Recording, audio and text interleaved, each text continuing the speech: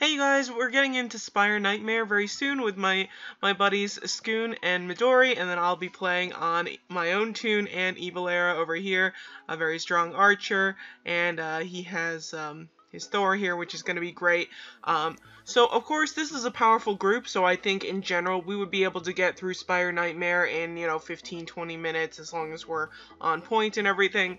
But, uh, but recently, uh, uh, one of the players from my cross server and a longtime follower of Doly Games, uh, Poison Arrow, uh, submitted uh, a suggestion for me to do a video showing one of these tricks for Spire Nightmare that can help you get through it faster because, uh, you know, these bosses have a ton of HP. The first time that I did this, um, a, a, video of this dungeon, it took forever because um, it you know, they don't necessarily hit really hard, but they just take forever to kill.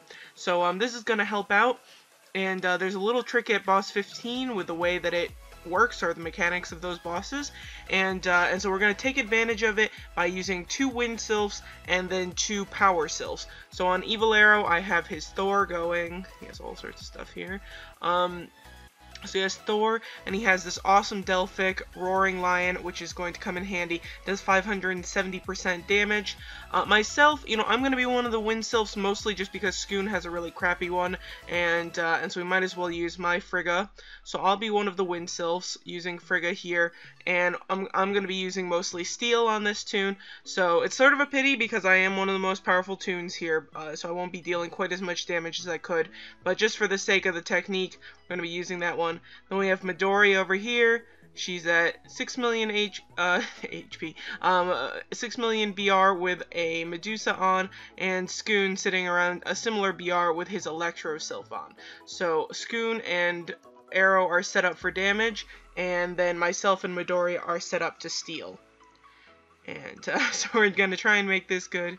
And they're giggling away because I said, oh, I need to intro the video first. I want to do this in real time, so I think it'll be...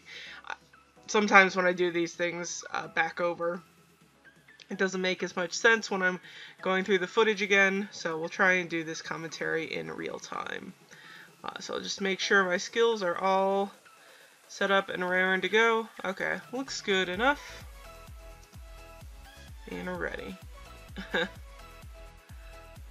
I love that little turtle that Midori's on for some reason. She always looks so cute in it.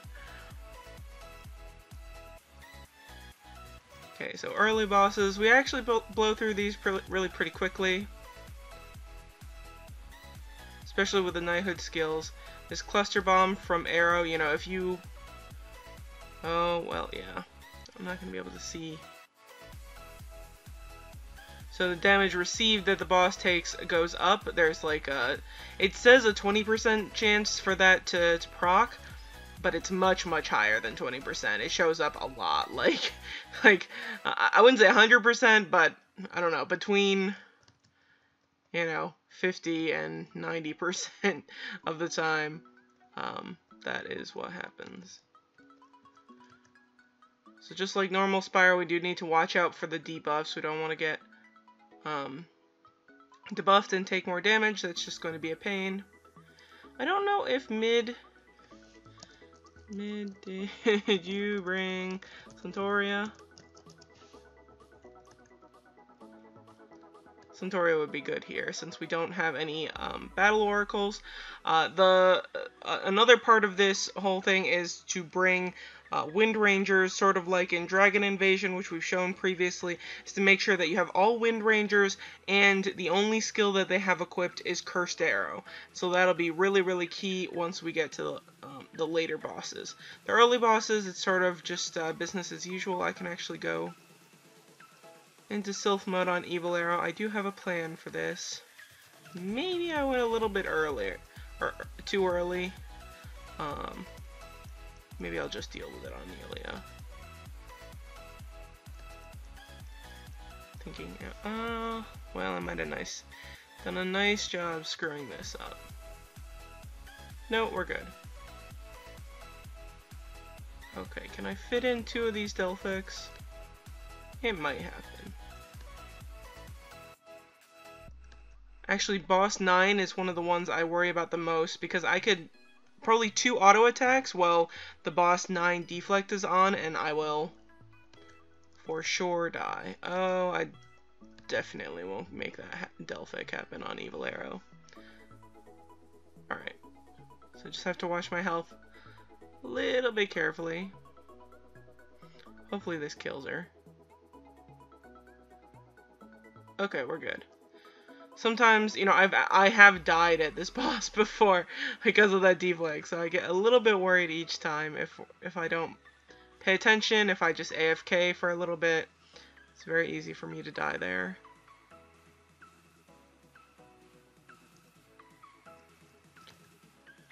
Let's see. Again, so I just by default keep two of these skills doubled up. That's that's not so much for PV, PvE stuff. It's more for uh, PvP concerns to block, you know, make sure that I have all of these filled um, in case somebody uses amnesia on me. But uh, actually, you know, I should be more strategic about this. I mean, is that really the one skill that I want doubled up in case of an amnesia? I'm not sure. I, di I didn't overthink it too much. Um, Hmm. But yeah, so uh, Evil Arrow's Fatal Strike is going to be big here. I haven't used it yet. And Cluster Bomb also huge. Let's see. Use one here. Hopefully kills the boss before the damage reduction.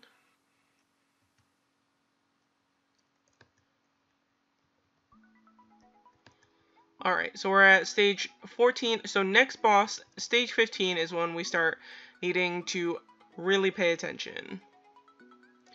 So maybe use one of these guys.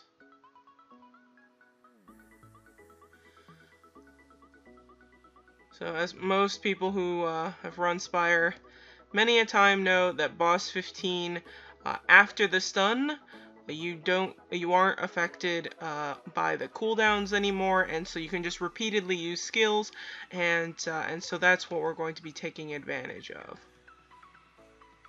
So I don't want to do anything too crazy. Nothing too big yet. Because I do want to get to the stun and then go into Sylph mode.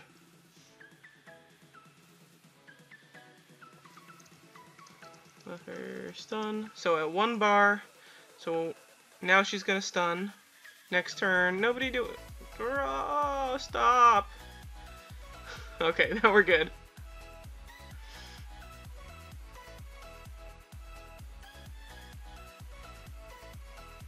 Probably just should have gone into Sylph mode immediately.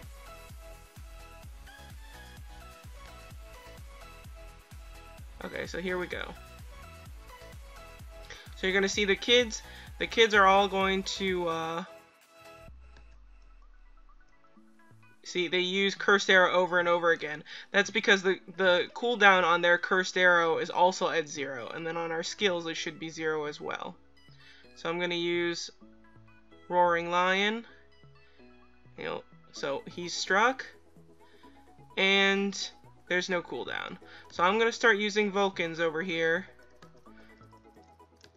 and uh, and just start hitting like crazy, doing super big damage. And this will make things move super, super fast through the later levels. So eventually the cooldowns do come back, but we can take advantage of this for at least a little while. The cooldowns also don't affect the, the Vulcan Wrath or any of the, the, the runes, so that's something very handy. Just blowing through these.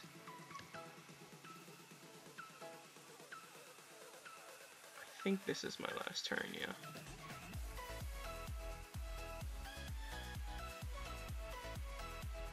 Ooh, there we are, one shot.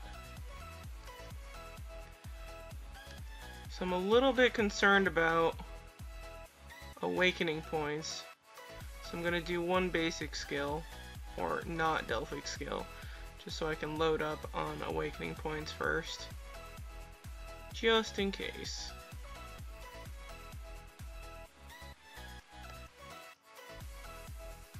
There we are. Maybe there's nothing to worry about. It's just sometimes right after the Delphic it can get pretty low. But each time it steals, we're going to gain 500 awakening points back, so between Midori and myself, should be good to go. Okay, and so now the cooldowns are back. It's because we're at a later level. We only have two bosses to go. And so I'm going to get out of Sylph mode. And, uh, and we can finish up this boss with just regular skills. Still very nice. Okay, so that was really, really good. So now I'm just going to use these Vulcans, um, the, the Vulcan Wrath, and use my normal skills, especially with Knighthood. This will go very quickly. If you don't have Knighthood, of course, you should wait until you can get back into Sylph mode again. But here, this Criminal Trial is going to increase the amount of damage we deal. So I'll deal that skill. Arrow will deal Cluster Bomb, which pretty much guarantees that this debuff will be on. And then we're done. So, I mean, we'll look back at the footage and we can see how long this took, but I don't think it took very long. I mean, you have to sort of muddle through the earlier levels, but I think it took um, you know, the first half of the, the dungeon probably took longer than the second half of the dungeon. So that's a really, really nice trick. It goes by super smoothly and quickly, and that was just awesome. So a big thanks to Poison Arrow for pointing it out. You know, it seemed like he had known this for a while, and nobody had really pointed it out to me. It makes perfect sense that somebody would do this. It just didn't occur to me to, to figure out. And uh, and so, yeah, big thanks for, for the contribution. If you guys have any, ha have any other tricks up your sleeve and you want to share, um, we really really appreciate it and also I'll try and figure out a video to make that happen.